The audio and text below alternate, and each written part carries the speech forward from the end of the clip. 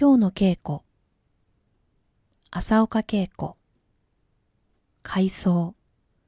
銀色の墓毛滝口先生仕事場に来られる。その後私は絵に専念するために美術手帳をやめフリーターになった。仕事虫の私はすぐに難度を作品で満杯にし心も飽和状態になっていた。そしてそろそろ展覧会がしたいと思うようになっていた。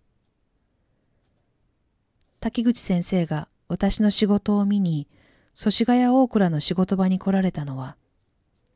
1970年7月15日のことだった。その頃私は自己鍛錬と称して画面の真ん中に縦に一本の線を描いていた。いや、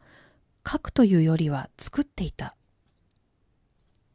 画面の両側から溶かしたワックスを注意深く流しながら、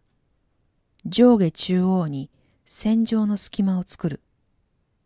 そこに色を差し込み、乾いたらワックスを熱処理で取り除くのだ。すると、上下を走る美しい線が生まれる。その線は出来上がるまでは姿を見せない。けれど、できた線はまるで自ら存在していたかのように現れるのだ。それが面白く、これを夢中で続けていると、様々な方法も編み出せ、私はさらにのめり込んでいった。この時私は自分がデカルコマニーにも似た方法で制作していることをまるで意識していなかった。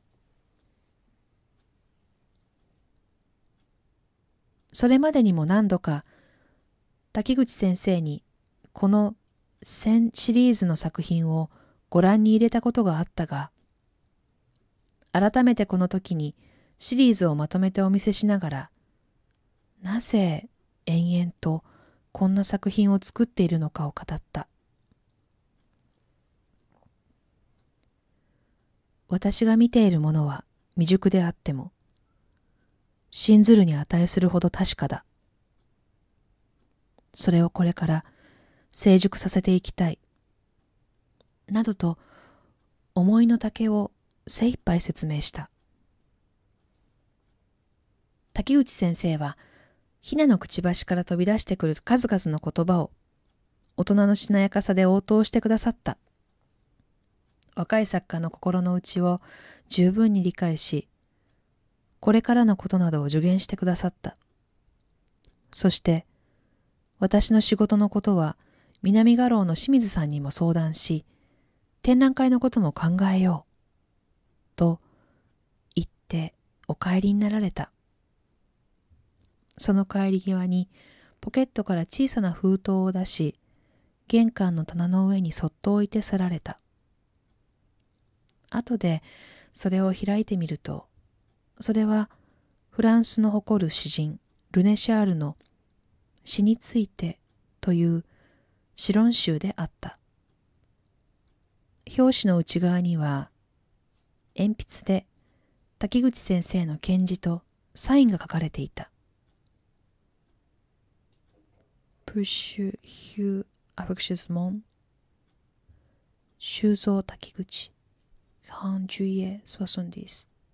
Sur la poésie 9.5×13.8 センチ32ページ GLM 社パリ1958年出版限定770部のうちの186番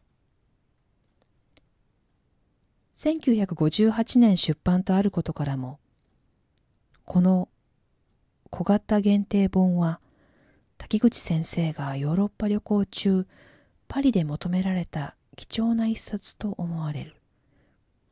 この詩論集をいただいたとき、私は早速図書館や本屋でルネシャールの文献を探したが、当時は極めて少なかったようで微力な私には見つけることができなかった私は滝口先生に心してお詫び申し上げるしかない。図らずも長い間封印してしまったこの詩論集についてはその後元美術出版社の宮沢武義氏にお願いした翻訳や近年出版された文献などからその内容が次第に明らかになってきた。滝口修造の思考と重なることが